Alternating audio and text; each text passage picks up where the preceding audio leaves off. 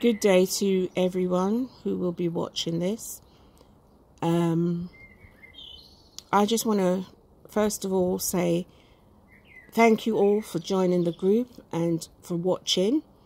And I hope and trust that as you go along, you'll be able to create or develop um, a style or something from these blocks and you or you'll be able to do them yourself um, so I just want to give you thanks for watching. You can share if you want to share as well. But thank you all for watching. I'm out in the garden this day. It's a beautiful sunshining day.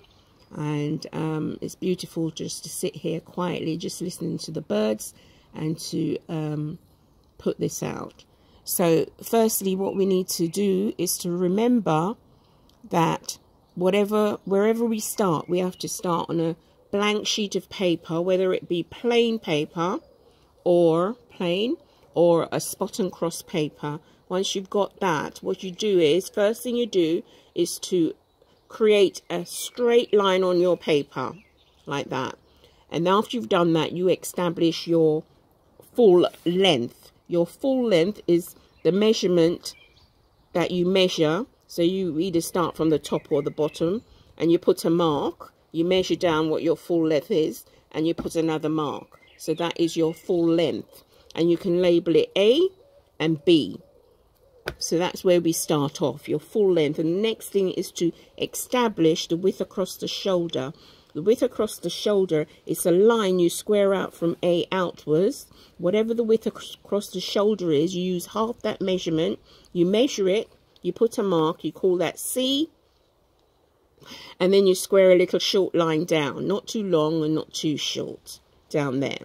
So the next thing you need to establish is your centre back length. So from B upwards towards A, you measure your centre back length up there and you put a mark and you label that D. Next thing you need to establish is your shoulder slope.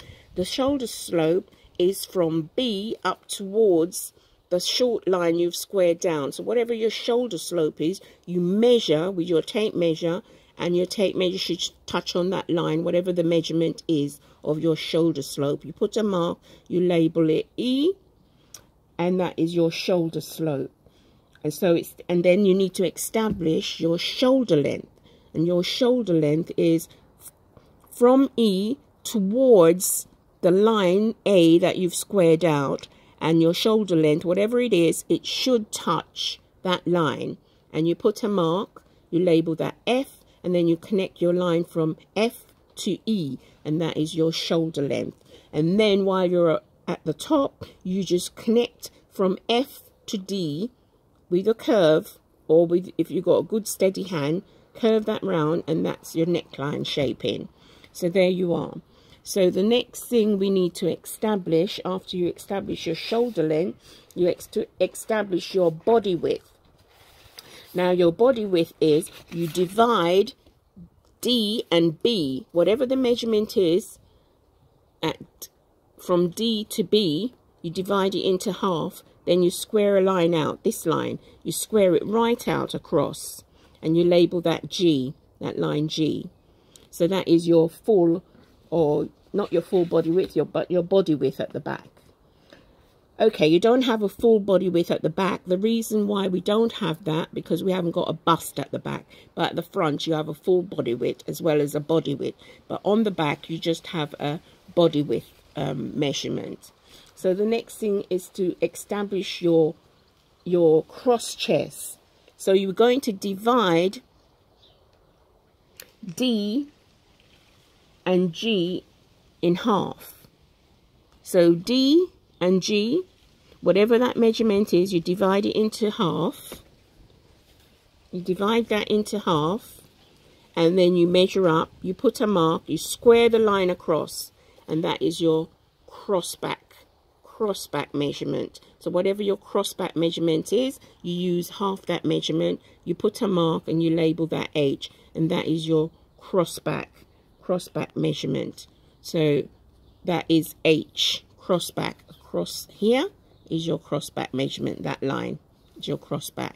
So after you've done that, you then need to establish your dart placement. So what we're going to do is to divide, measure what G is, divide it into half, this G line, and then you omit one inch. So for example, if that was 10, um, you divide it into half, so it'll be 5, and you minus 1 inch, so it becomes uh, 4. So you're going to measure from G outwards 4, and you put a mark. And then you're going to call that um, J. And that is the point of your dart. So you then begin to um, create your dart position. So you then, um, from B, you measure out half an inch less than what that measurement is. So that is four and a half. So this becomes four. So you measure from there four inches and you label that J. You put a mark and then you connect from J to I.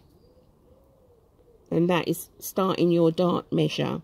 You then measure out an inch and a half for your dart, the width of the dart, and then you label that K.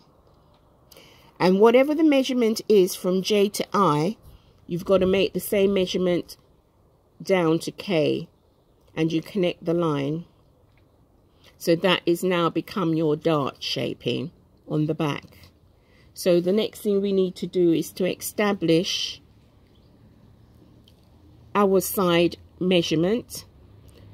But before we establish the side, you have to establish the rest of your waist measurement.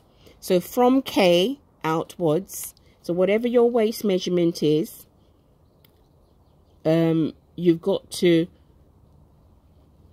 take away the three and a half inches that you've used to put to arrive at from B to J so you minus 3 and whatever is left for your waist, you apply it from K outwards and you put a mark. And you label it L. So that's how you establish the rest of your waist measure. So the next thing we want to do establish is the side seam length. So we know what our side seam is because we've got that measurement. So we're going to take it from G down towards L. So you draw a straight line down and it must line up with your L position which you have created the rest of your waist measure. So whatever it is, you measure it down and it's got to touch there and then you just connect the lines together again. Just connect that line there. So that gives you your shape of your the rest of your waist, which you've had already, and it connects your side seam. So that's how you create the back bodice and we trust that you understand and got that. If you don't, you can um, send me a message and I'll explain a bit more for you. So that's the bot the back bodice block bodice. So there we go. That that's it for now. We'll come back again. So have a blessed day and stay safe. Bye bye.